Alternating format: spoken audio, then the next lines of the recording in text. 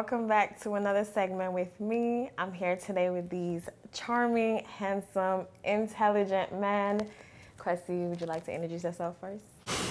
Hi, uh, my name is Kwesi. I'm from Ghana and I live in VA for right now. Uh, my name is Kofi. Uh, I also from Ghana. Uh, I live in Virginia. And my Instagram is at Kofi the Cam.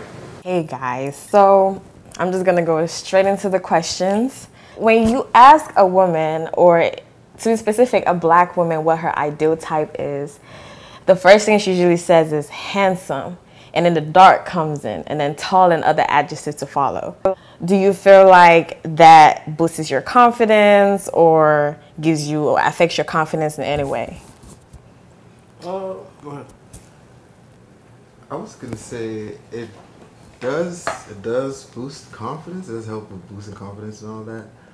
But then again, it puts you in a position where you know it's like she's looking for something in particular. You know what I'm saying? Like she has a notion tall, dark, mm-hmm. handsome, or whatever, and then she has a notion of something else that she's probably looking for to add up to it. You might not Yeah. just be it. You know what I'm saying? So it's it's a win and a loss situation at that. Sometimes. Okay, so it's it play so it boosts your confidence at the same time. It has its negative effects. Is, is, is it like a lot of pressure? Is it too much pressure or? no, I wouldn't say pressure, Okay.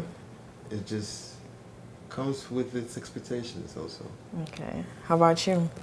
I don't think there's no pressure. I mean, I feel like, I don't know, I just feel like we always, you know, been ready for something like this. Like, I feel like we always been ready to, like, be in the spotlight. So I feel like we're ready. Like, this is our time. You know what I'm saying? Yeah. Like, I feel like we're appreciating it. You know what I'm saying? We're indulging it and we're just going with the flow. You know what I'm saying? If you got that charisma, you got that charisma. Yeah.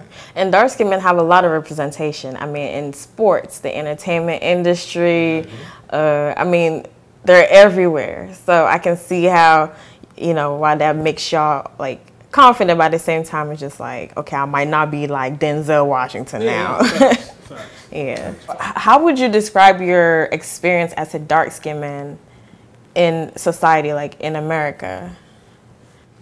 Uh, it's been dope. Uh, honestly, like, I guess a lot of people kind of, I'm not gonna say cater, but a lot of people like come towards your way and like in good faith because I don't know, maybe because they might think I'm funny, they might think like I'm good at basketball, good at football, they might want to pick me on their team. It's like so, you get good like energy around you for the most part, but then there are there like bad negatives and like it is kind of hard sometimes to make it here as a black man because you know it is a little bit harder to you know get a job or you know what I'm saying um, you know, just get a job and work and just maintain. So I think I think it has its ups and downs, but for the most part, uh, it's pretty clutch. I love being black. I wouldn't trade it for nothing.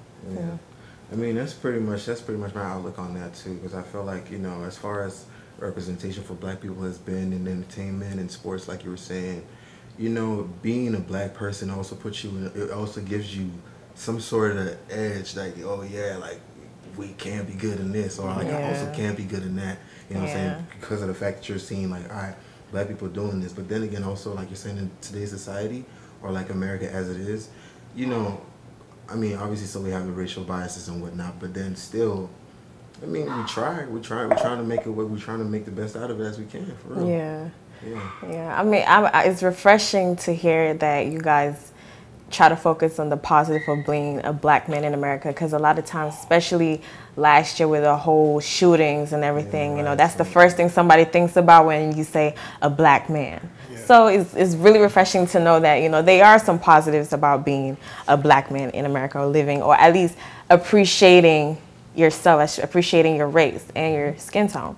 Uh, do any of you guys have dark skinned mothers, sisters, Oh, yeah. family members? Yeah, definitely. Yeah, mom, dad, everyone Yeah, in my family. obviously. Obviously. Look at me, I'm dark skin, right? right, there's Yeah. no way. Yeah, nah. Um, buddy. all my siblings are dark skinned. We're all beautiful black children. So yeah, man. See, that, that was my next question. Does this stigma about like being dark? I mean, now it's definitely better.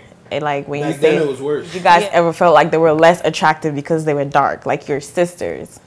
No, And- no, no, no, no. I always used to tell my sisters they're beautiful at a very young age, like Yeah. because I knew I knew it was hard. Like we used to get fried in school. You know what I'm saying? Already, Yeah. yeah. So Exactly. it's, it's one thing to get fried in school, then also get drunk at Exactly. home, so- Like I'm Yeah. not about to, you know what I'm saying. Exactly. Yeah. That's that's messed up. Like can't get fried at school, then come back home and fry your family members. Like that's kind of crazy. Like that's when you're kind of like supposed to heal. But nah, I mean, yeah, we. It was a bad stigma back then, but now it's gotten a lot better. Girls are more attracted to dark skinned men. Um, Amen. yeah, so we, we winning right now. Nah, for real. Amen. Okay, so how do you guys feel when you hear other men on social media saying, "Oh, if you're dark skinned, you're not winning," or if you're light skinned, you're winning. If you're dark skinned, you know, they try to like paint dark skin as this less attractive thing. Like, how do you guys feel when you hear people say that about people who look like your mother's sisters? That, that's their preference. All I can say is people tend to get look like us, so well. Mm. That's true. I mean, you know what I'm saying? Like you can't just be, you can't say you're dark, you're you're not winning because you're dark skinned. It's it's just That's a bad mentality. yeah, I mean- that's, that's just a bad stigma. To even Yeah, begin I with, know. You know what I'm saying? Like, cause. Yeah, I mean, but, back in 2016, remember when uh, Instagram was like popping, and then they used to make those meme pictures, and they'll say, "Oh, team light skin, team dark skin." Yeah, yeah. Like I saw a post recently that reminded me was a post made in 2015 that was like, "If you're brown light skin girls are definitely winning, brown skin girls, yeah, y'all got it. If you're dark skin, kill yourself." Which I mean, that was extreme, but yeah, on social media? yeah. I saw a post recently. I'm like, "Ooh, I need to bring this up in a conversation because I almost forgot what we used to go through, like going on Instagram, Instagram, and seeing all these things, especially Twitter. Twitter is brutal. or back then, Twitter was Twitter was brutal. But yeah, like we used to see a lot of those when this is when we're like in high school, like still trying to grow up and like facts. get into that maturity. So yeah, I mean, it definitely affected some of our insecurities. But yeah, I was just wondering like how you guys would feel if somebody said that to people who look like your immediate family. I just, I just, I just look at it like, all right, that's their preference. Exactly. Obviously, they're not into dark skinned women. Mm. I am. Everyone I've been with is very dark skinned, so it's just like, it's all about preference, man. I love, I love black women, so I don't care if you're light, dark, brown skin. You riding, you True. riding. You know what I'm saying? Like that's how I look at it. exactly. True. So your mom's uh, siblings, well, your mother. I'm focused on your mother. Your mother is dark skinned. What are some qualities about her that you you admire? Oh, I'm strong. Yeah, I feel like all African women are And strong. resilient, resilient as hell. That's one thing that I could tell you. Resilient. Yeah. She will go to heaven and hell. Like she go to hell and back for you. You know what I'm saying? Like that's, you know, that's one thing that I you know I can't like you can't you you know what I'm saying? You can't even like you can't even start to imagine like the depth of love that you get from an African mother. You know what I'm saying? Growing mother, up. yeah. You know what I'm saying? Like it's it's She- immense, man. Yeah, It's your, your mother going your mother going uh, gonna protect her cubs. You know what I'm saying? She's Yeah. gonna make sure her kids are good. That's why sure. you do certain things that kind of be out of pocket, but they're just doing it out of love to make sure you good. And we don't understand that when we're young, but mothers grow got their together. best interest for their son, even though they might not know everything, but the it's from the bottom of their heart. They're just trying to look out for you. Yeah.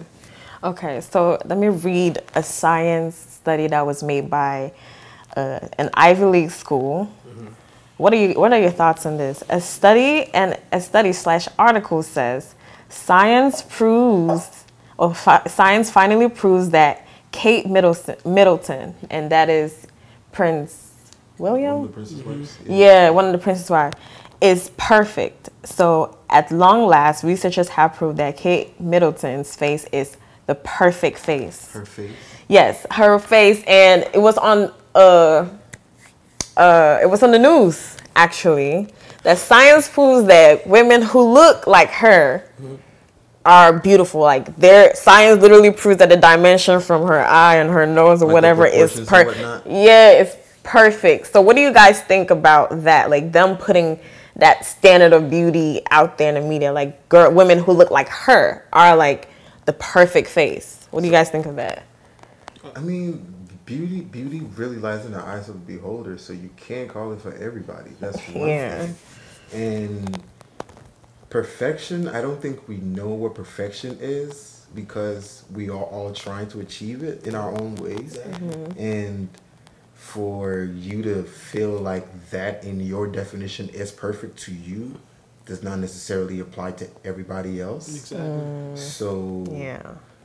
in a situation like that, I mean, that is still up for debate. Like, for example, when they have the world's sexiest men. Uh, what you call it? Sexiest men alive. Yeah, Yeah. Yeah. yeah, that, that that joint when they when they do that stuff. Some of the guys that came out, some of the guys that came out. I'm, I'm, I remember it was Idris Elba one time, and then the next person after him, I think it's a new Batman guy, right? The new uh, the guy that was in Twilight. I forgot his name. I know you're talking about. Yeah, him. It's like- and this is the whole world. And I was like, what? Yeah, uh, Yeah. that's crazy. You know what I'm saying? So I'm like, I feel like it's just it's just it's just a perception thing. You know what I'm saying? Like I feel like it's a personal perception thing. Your your uh, own perception of beauty is like how you're saying. A lot of a lot of women these days are attracted to dark skinned men. That's their perception of Mhm. perfection right there. Mm. You know what I'm saying? So So you wouldn't necessarily. So now, Mark, what's the difference between preference? So now, okay.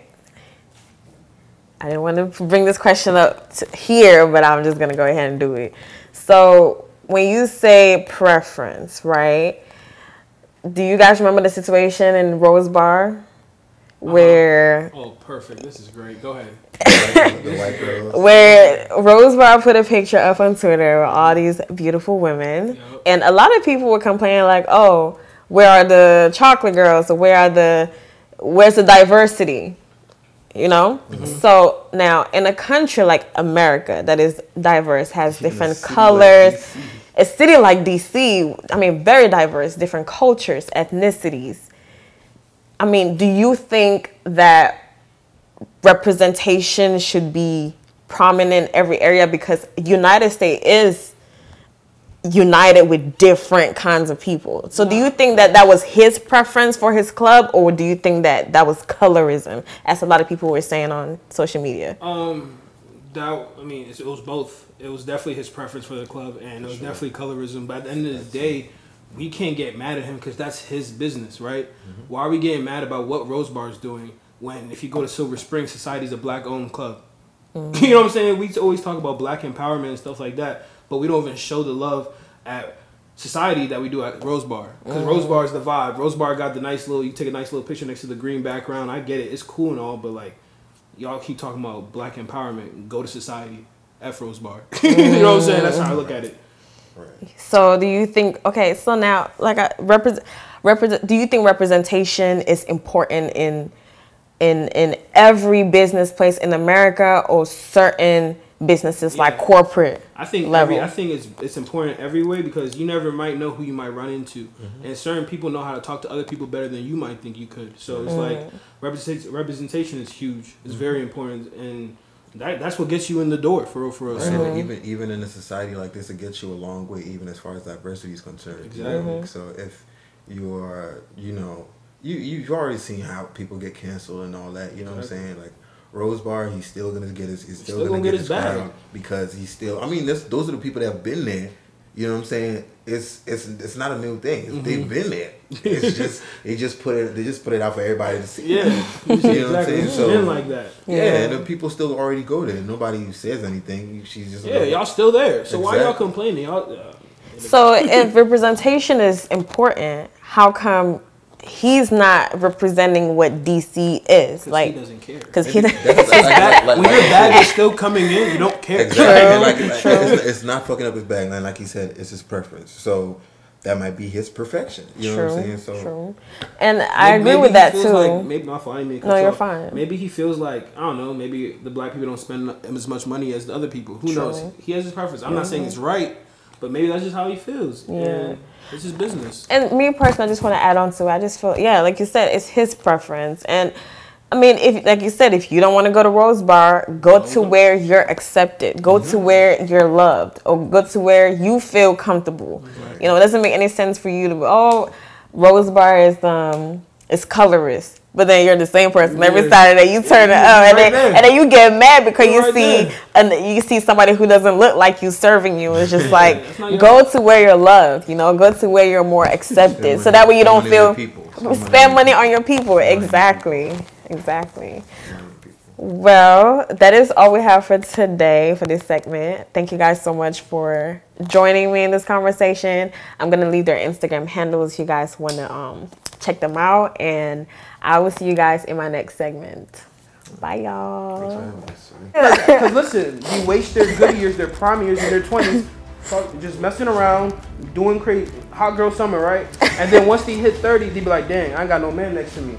So once they realize they don't have a man next to them, what do they do? Oh, I want a baby now, and I don't even care if the man's gonna stay with me. So they have the baby with or without the man. Where And are now- we getting blamed?